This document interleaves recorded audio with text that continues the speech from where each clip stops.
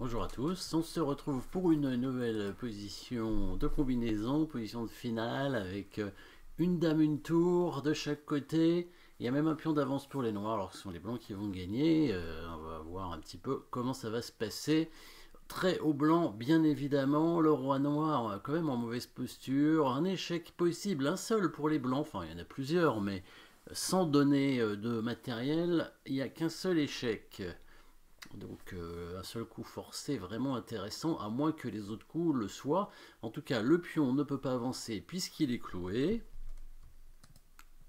Dommage, parce que sinon, euh, si la dame n'était pas là, bah, ce serait mat, hein, tout simplement.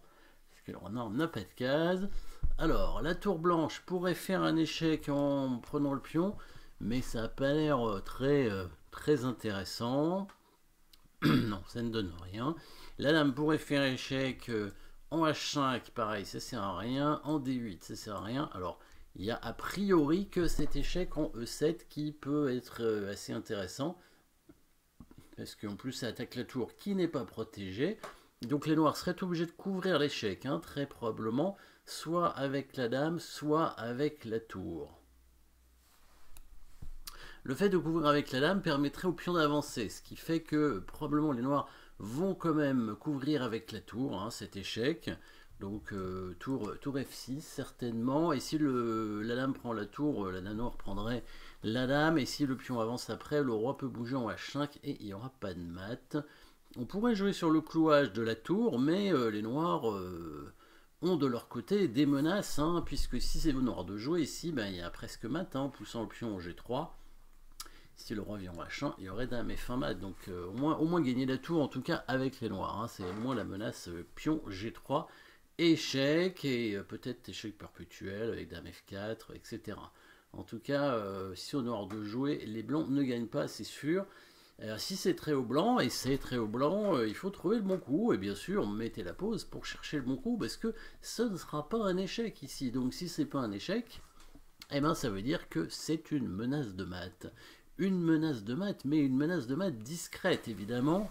Comme souvent, c'est pas une menace de mat en un coup cette fois. Menace de mat en un coup. Est-ce qu'il y en a des menaces de mat en un coup? Tiens, oui, j'en vois une. Euh, la tour qui vient en G5, menace mat avec dame H5.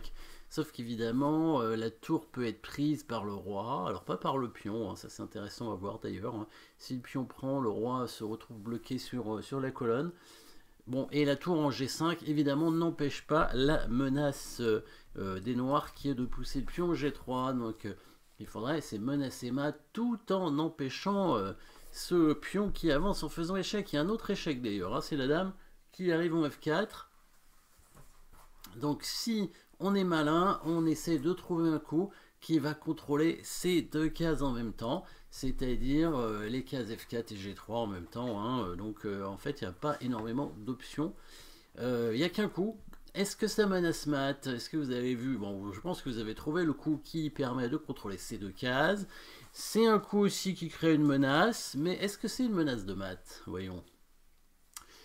C'en est une, c'est pas une menace de mat en un coup, c'est une menace de mat en trois coups. Alors une menace de mat en trois coups avec un échec, avec des coups forcés tout le temps, bien évidemment, et le mat à la fin, ça sera trois coups parce que les noirs vont pouvoir euh, jouer un coup forcé, hein, et, donc euh, se faire mater seulement au bout de trois coups, mais toujours à l'aide de coups forcés pour les blancs.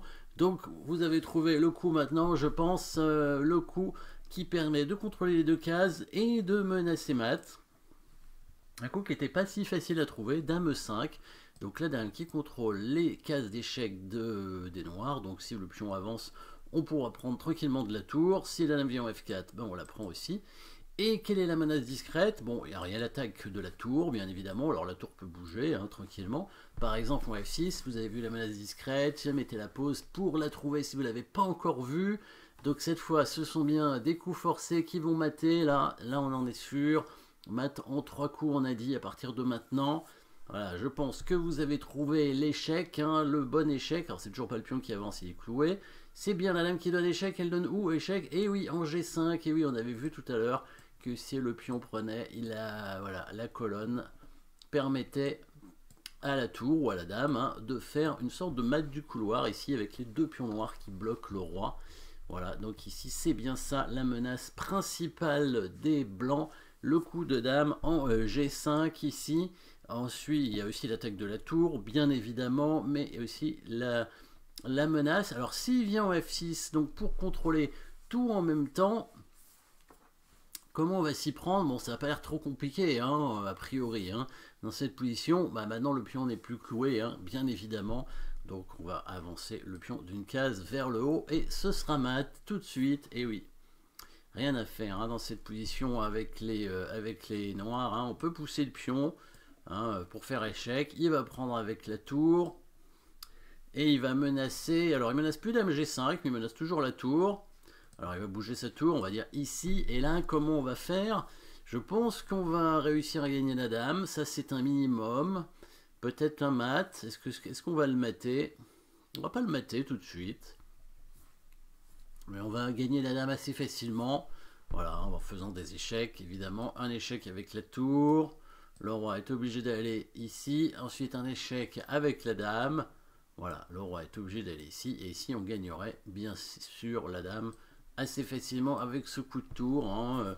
Il y a peut-être un meilleur coup hein, qui permet euh, de mater, hein, évidemment, euh, c'est bien aussi. on, peut, on peut tenter un échec euh, ici en E5, le roi serait obligé de venir en G4, ensuite un échec en G3. Mais il n'y a pas de mat immédiat, le roi est obligé de venir ici, mais pas, pas de mat pour l'instant. Donc a priori, il n'y a pas de raison de ne pas gagner la dame en faisant le coup tour F3, tout simplement. Et donc, premier coup ici, ce n'est pas une menace, c'est pas un échec, c'est pas un échec, mais c'est bien une menace de mat, une menace de mat discrète avec donc ce coup de dame en G5 hein, qui menace donc le mat en euh, trois coups. Voilà, petite combinaison de mat ici avec la dame et la tour. Merci d'avoir suivi cette position et à très bientôt.